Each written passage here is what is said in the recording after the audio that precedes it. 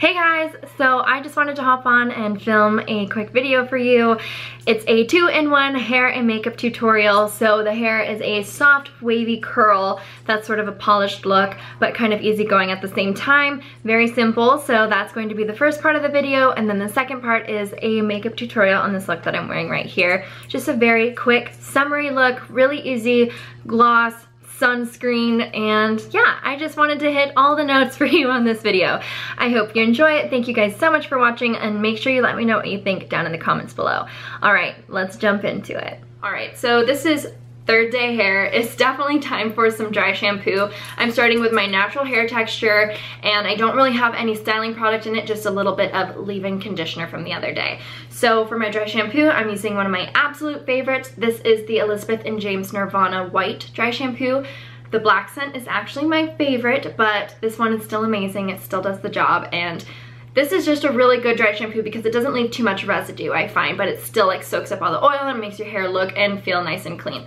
So I'm going to start by spraying this in my roots and I'm going to show you that process. By the way, sorry if the lighting in this is like fluctuating a lot. I'm using mostly natural light and the sun keeps going behind the clouds, so I, I apologize. Right now it's really bright, but hopefully it will stay this way. Fingers crossed. Okay, so I sprayed the dry shampoo all around my roots of my hair. So I basically separate my hair about every inch. So I go at my at my part and then one inch over, one inch over, etc. It doesn't have to be perfect, but you just want to get it distributed nicely if you want to soak up the oil all over. So I'm going to leave this in for a minute or two while I put another product in it.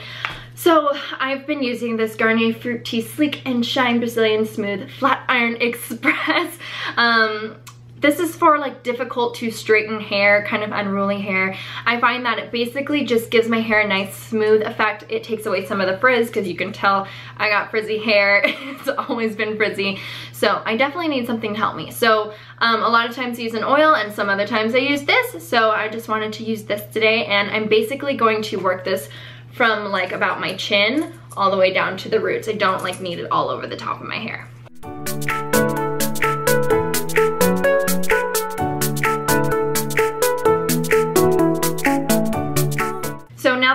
Product distributed in my hair, I want to comb it out, make sure that the dry shampoo isn't just at the roots, but that it kind of falls a little bit more in the hair. So what I'm gonna do is just brush that out using a Tangle Teezer.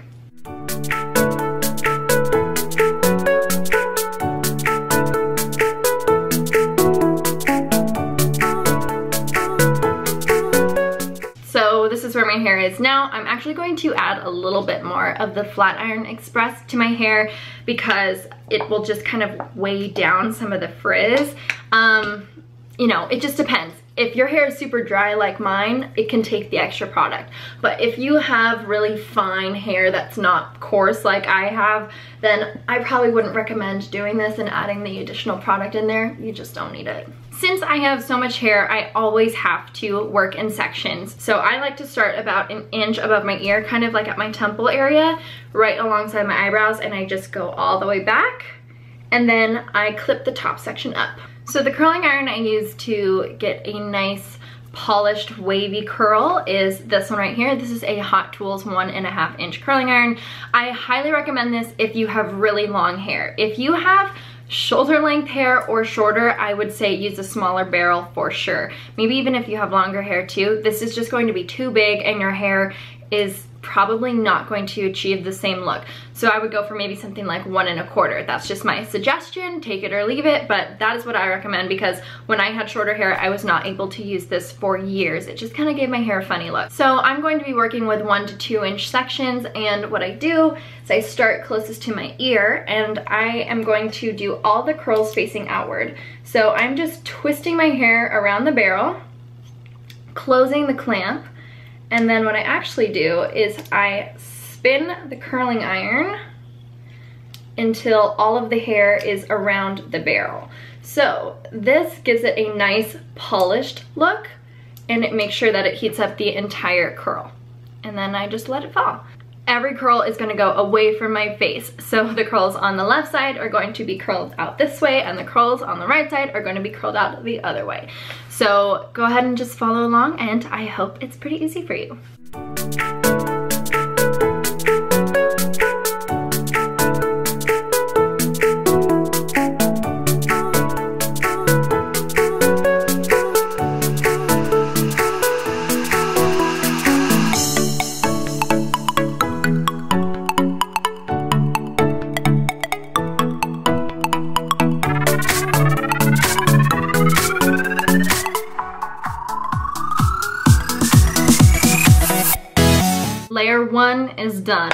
Many more layers to go.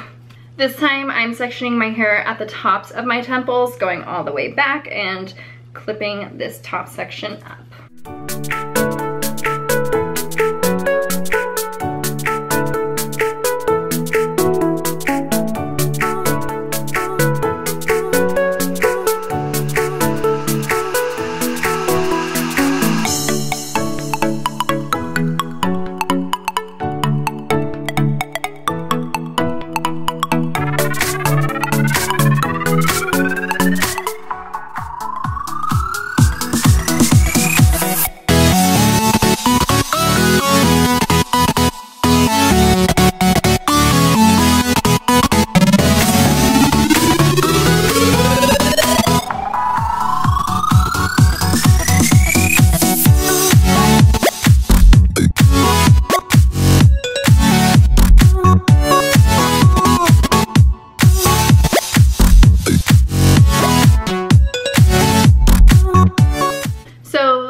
Section is where I seem to have the most hair and what takes the absolute longest. So I section these off just one side at a time. So what I'm gonna do is I usually start over here on the left side for some reason. I go kind of right above the middle of my eyebrow and I go all the way back. And I just work with this part first and I'm gonna pin this part up.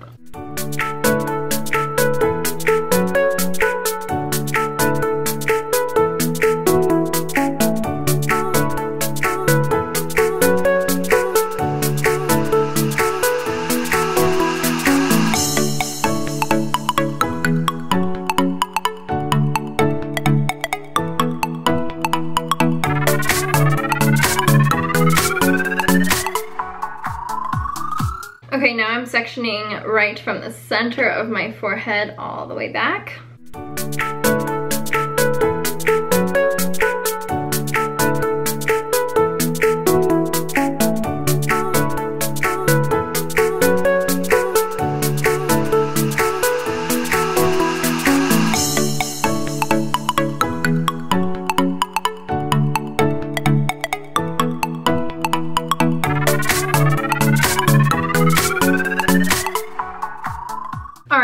I part my hair right about here above the middle of my right eyebrow. So I'm going to just section that off now and get my part. And I am going to curl this bit first.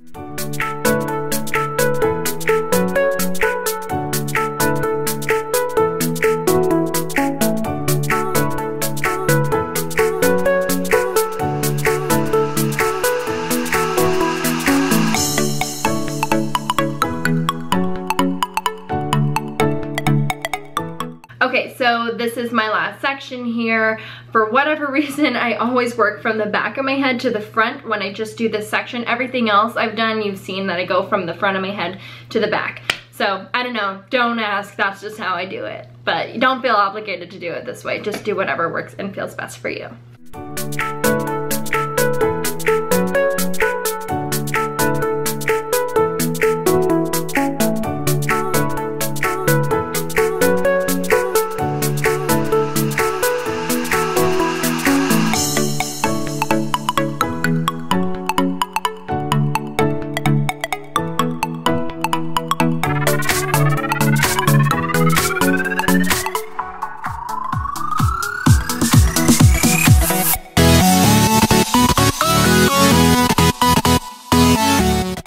Okay, so I finished the curls and the most important part, I promise you this, is flipping your hair upside down, shaking it like crazy, going through it with your fingers, not necessarily combing through them, but just shaking your hair at the roots with your fingertips. That is key to this hairstyle, I promise. Okay, so Basically, everything is done. The only thing left to do is do a little hairspray. Anything will work, honestly. This is just what I have on hand. This is the Garnier Fructis Full Control Anti-Humidity Hairspray. and um, I am just going to spray this all over, not too much. All right, so now that I'm officially done with the hair, I'm going to do a little glamour spin and show you the final result. All right, was that cheesy enough for you? okay, I'm going to go wash my hands, get the hair products off my hands, and then we're gonna jump into the makeup. Okay, so this makeup look is going to be very quick and simple. It takes five to 10 minutes. It doesn't use too many brushes. It focuses a lot on the skin very non-technical. Anyone can do this and you can totally adapt it however you want to because it's very minimal makeup. Before I start though, I just wanna say that now that the sun is out, it is super important to be wearing your sunscreen all over any exposed skin. You should really be wearing it all year round, but now that the sun is out, I'm just reminded to tell you that it's really, really important to protect your skin um, for so many reasons. So whether that's putting a base down now on any exposed skin or on your face, whether that's a moisturizer that has sunscreen in it or a flat out sunscreen, do whatever works for you. I'm actually going to be using a setting spray here at the end that uses some sunscreen and that's how I'm going to get my coverage for the day. Since it's hot and I already have oily skin, it's super important that your makeup lasts all day. So I'm going to be using my Nivea Men Sensitive Aftershave Balm and rubbing it all over my face. It feels very refreshing and you want to stop rubbing it in when it feels a little bit tacky and it doesn't really have a slip to it anymore. So instead of foundation, I'm actually going to be using BB cream today, and this is the L'Oreal Magic Skin Beautifier BB cream. I really like this because it gives my skin a nice matte finish. So this foundation is really cool because it comes out white like this, and I'm gonna show you. As you rub it in, you break the little pigment beads in there, and it blends into your skin. This is kind of cool. So I am going to put this in the palm of my hand, rub it in, and slather it all over my face.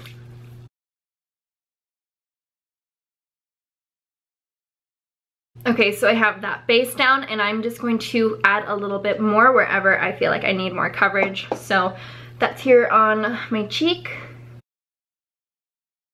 and also on the forehead where I have quite a bit of discoloration lately.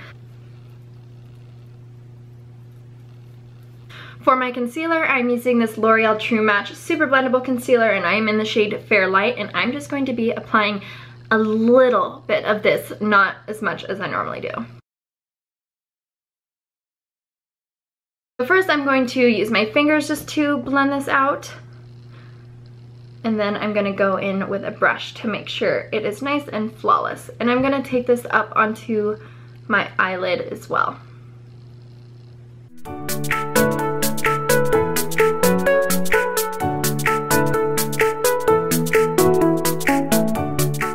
Okay, now that the product is distributed, I'm using my Zoeva 110 Face Shape Brush. It's a little dome brush like this, very densely packed, and I am going underneath the eyes, and just swirling it around. I want it to look obviously as skin-like and as natural as possible. So I don't mind moving this pigment around. I'm not necessarily looking for coverage, I'm looking for brightness.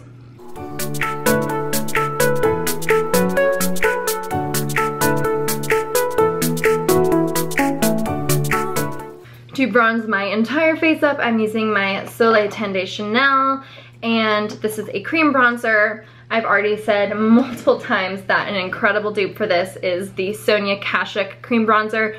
You can get it done at the drugstore, let me tell you. This is so much less expensive than the Chanel. I just haven't used it in a while, so I wanted to use it. To do this, I'm using my Morphe M439 brush. You can see it's also sort of like a dome-shaped brush, very densely packed, but it's more of like a foundation brush. So I'm just going to swirl the brush in here, pick up some product, and go to town. I'm basically going to be going around my whole face. I am not contouring with this. I am just bronzing the crap out of my skin. Making sure you bring it all the way down onto the neck too.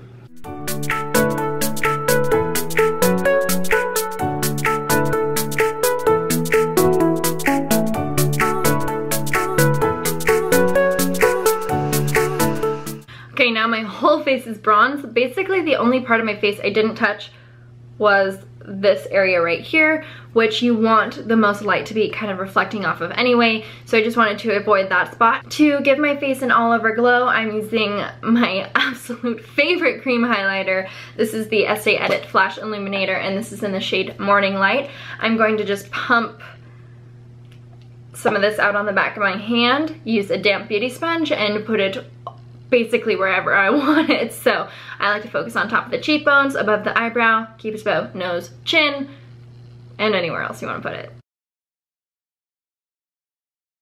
Do you see that? How beautiful and skin-like is that? Oh my gosh, this side compared to this, it's incredible. Like I, I am so impressed with this product. It's so good and no one else talks about it. It's amazing.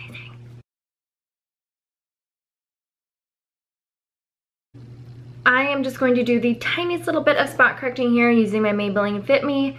Gonna hit this bad boy right here. Okay, so I'm done with my cream products, so I'm going to set everything, and first I'm going to use this NYX Color Correcting Powder in the shade Banana, and I'm going to be using a little Morphe M501 brush to get all around my eye area. To set the rest of my face, I'm using this NYX HD Studio Photogenic Finishing Powder. This is the most lightweight powder I've ever used. So really a little bit goes a long way. Okay, the brows for this are so easy. I am using this Ofra eyebrow pencil and I think this is the universal shade. And what I'm gonna do is drag the brow pencil on the underside of my brows, just tracing a line so I can get some definition. And then I'm going to brush that up using a spoolie. And then I'm gonna use the tiniest little bit just at the top high point of my brow too. And then bring it down towards the tail and of course brush that out as well. Now I'm just going to sharpen up the tail. You could literally be done with the brows right here. I'm just going to do one more little step to make them hold and look super duper natural. But look how clean, defined, and easy that was. A piece of cake. And it works with this pencil because it's so waxy that the color distributes really easily when you use a spoolie to comb it through. So all the writing has worn off of this, but I'm pretty sure it's called the L'Oreal Brow Stylist Plumper. It's a little mascara for your eyebrows, and I'm just going to brush all my eyebrow hairs up with this and set them into place. For the eyes, we're just gonna do some gold glitter, and this is the ColourPop Super Shock Shadow in this shade crimper. I'm not sure if this is still available actually, I have to check, but they have so many shades all the time. I'm positive you can find something like this if this is no longer there. So I'm just going to use my ring finger and pop this on the lid. I'm bringing this all the way up to my brow bone. I'm not touching my eyebrow, but I'm getting pretty close. All right, I'm gonna zoom you in a little bit and we're gonna just pack a little bit more closer to the lash line. So on a little Sigma lid shader brush, I'm just going to lay this down close to the lash line, up to the crease, and then I'm also going to take it on the inner corner. Okay, now on the lower lash line, I'm using another ColourPop shadow, and this is in the shade Party Girl. It is a really kind of like neutral mauve toned pink. I'm going to use a pencil brush for this and smudge this along the lower lash line. This just adds a really soft pink glow and I think it's beautiful. It's not showing up as well as I would like on camera, but I can see it in person and I really like it. I'm gonna start off by using some little black primer on my lashes. This is from Estee Lauder, by the way, I should have said that. Um, I love this. I raved about this in my last video. It's amazing. And now I'm just going over top of that with my Maybelline The Colossal Volume Express Mascara. Two coats of this top and bottom. Okay, so that's it for the eyes. I just wanted them to look very fresh and awake, and I think we've accomplished that. So now for some highlight and some additional glow, I'm using this NYX Illuminating Palette.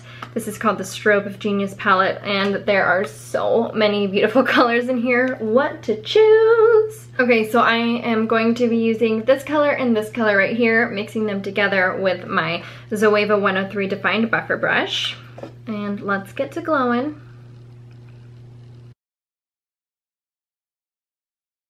For blush, I'm going with this one from Tarte. This is in the shade Seduce. It is one of their new nude blushes. And using a Morphe E4, I'm going to put this on my cheeks.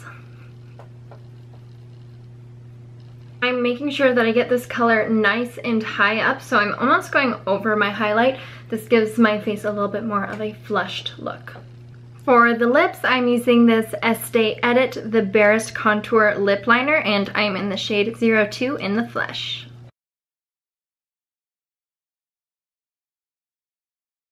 And then for something that probably isn't necessary, but I'm going to do it anyway, I'm using this, um, the Barest Lip Color from the Estee Edit as well. This is also in In the Flesh. Going over that. And then, one more step. How cute is this? this is the Estee Edit Cocobalm in Cocoa Berry. It is a coconut oil infused lip balm and you squeeze the product out of the top here and this is like squishy. How cute is that? So anyway, I'm just going to apply this all over. I just picked this up the other day and it is so hydrating. It tastes and smells delicious and it's not sticky at all, but it does stick to the lips. Isn't that so pretty and glossy? So that is it for the makeup look. To set everything in place, I'm using this adorable little travel size version of this setting spray. This is from Supergoop and it is called the Defense Refresh Setting Mist with Rosemary Broad Spectrum Sunscreen with SPF 50. And it says matte finish 3-in-1, sets makeup, controls oil, and delivers UV photo aging protection. And if you can hear a dog barking in the background, that's Bam Bam. so I'm gonna shake it up and it has this super satisfying sound and I'm gonna spray it. What's really cool about this is it dries instantly. It just like sucks into your skin. Alright guys, so that sums up everything for this two-in-one makeup and hair tutorial. I hope you really enjoyed it. This was kind of fun for me getting to do both at once. I did one makeup and hair tutorial a while ago, um, but I wanted to do something again. So yeah, I hope you enjoyed and I cannot tell you how much I appreciate you watching this video. So thank you truly from the bottom of my heart. If you like this video, please give it a thumbs up. If you like me, subscribe to my channel. Share this video if you want other people to see it as well. And yeah, I just can't thank you enough. So have a wonderful and beautiful day. I will see you guys very, very soon in another video. Bye.